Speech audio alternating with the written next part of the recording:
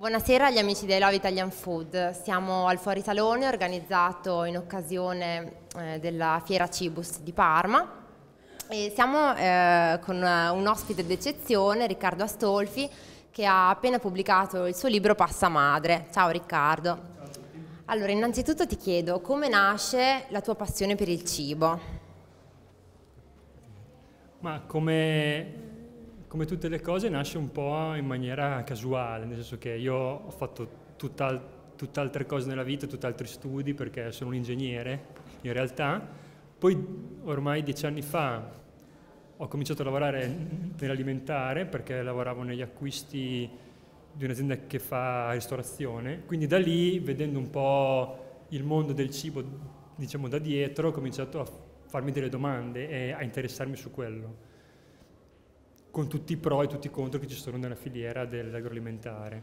Da lì appunto ho cominciato a collaborare con Slow Food come volontario e diciamo che se devo definire un momento in cui magari è scattato qualcosa è stato nel 2006, ho fatto il volontario per Terra Madre e lì collaboravo con, cioè in pratica seguivo le comunità dell'India in giro per Torino a dormire, cioè in pratica facevo l'accompagnatore di questi 100 contadini indiani e lì eh, quei 4-5 giorni in contatto con loro diciamo che è nato il bisogno quasi di dire io vorrei fare questo di lavoro, che poi questo non vuol dire niente, cioè, però dire lavorare nell'alimentare. E questo appunto era il 2006. Ed, ed appunto da lì, passo dopo passo, mi sono sempre più appassionato, tanto poi, di, tanto poi da nel, cos'era, il 2009 mia suocera fece la pasta madre, lei, dalla ricetta delle sorelle simili, che per chi le conosce sono, delle, sono ormai delle, delle, signore molto anziane, però diciamo, diciamo che sono i primi miti della panificazione domestica, che loro sono di Bologna, quindi lei fece la ricetta seguendo un libro delle simili e mi regalò questa pasta madre che io quel tempo lì magari ne avevo sentito parlare ma non sapevo neanche che cavolo era.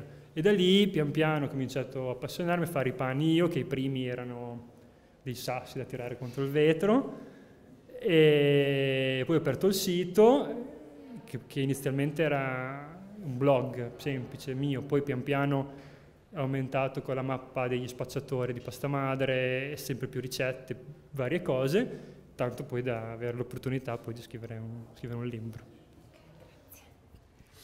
E, um, I Love Italian Food promuove il Made in Italy, tutto il, cibo Made in Italy.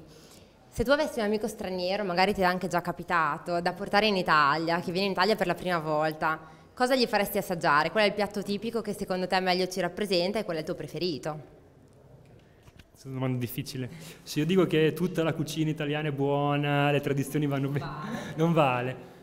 Allora, forse la, forse la pizza proporrei, perché da un lato secondo me, a parte tutto, la pizza rappresenta l'Italia, a parte gli stereotipi, in Italia e nel mondo.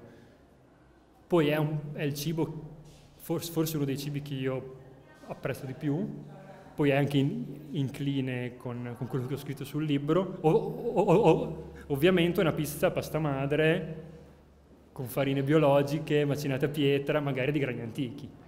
E che comunque ci sono pizzerie in Italia che, che lavorano in questo modo. Nel caso non fossero aperte, possiamo venire a casa, a casa mia. Entrando un po' più nello specifico invece del tuo libro, insomma, della pasta madre eh, perché consiglieresti a qualcuno di lasciarsi affascinare dalla pasta madre, dalle, da questo tipo di lievitazione? Ma questa è una domanda che mi fanno spesso perché tutti mi dicono ma cos'è questo sbattimento di fare il pane con la pasta madre, devi stare lì una giornata, poi tenere il lievito? Allora magari adesso sembra un po' un fricchettone, però secondo me la risposta è, è nei sorrisi, cioè nei, nei, sorrisi che tu doni alla tua famiglia quando dici facciamo il pane che diventa un rito, che diventa un prodotto comunque buono, che diventa pane, diventa pizza, diventa brioche, diventa merenda. E poi che diventano sorrisi anche nelle persone a cui tu regali il lievito, a cui spacci il lievito, e dici no guarda, questo qua è gratis, cioè, no, no, cioè, ma ti devo dare qualcosa, fai no, no, questo te lo regalo, poi dopo tu a casa fai così, fai così, fai così. Quindi il gesto gratuito del, del regalare il lievito, che poi fa parte, è una parte fondamentale della comunità che sta dietro la pasta madre, crea sorrisi e questo secondo me è bellissimo.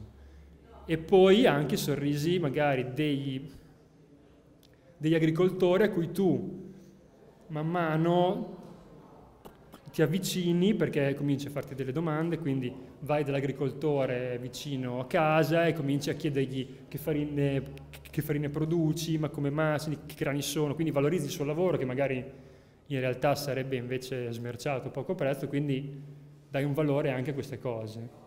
E poi, soprattutto forse egoisticamente, i sorrisi della tua pancia, perché è un pane buono, digeribile, che dura, gustoso, cioè non ha paragoni, diciamo. Quindi, quindi il motivo è questo qui. Ok. Dura quanto? Per sempre. Sempre. Cioè, male per sempre, il pane anche più di una settimana. E ti chiedo se e come eh, la pasta madre può essere un modo per valorizzare il Made in Italy. Ma se, secondo me eh, la pasta madre come poi tutte le autoproduzioni, cioè quando comunque cominci a appassionarti a farti le cose in casa, che sia appunto il pane, la birra, i saponi, qualsiasi cosa, ti costringe a farti delle domande. No? Allora tu cominci la tu cominci col pane e la pasta madre e dici, ah, ma quindi lievita così, dovrei fare così, ci sono altre tecniche di impasto, il forno, come devo impostare, quindi farti fare delle domande sempre con l'ottica di migliorarti, fare un pane più buono per te poi.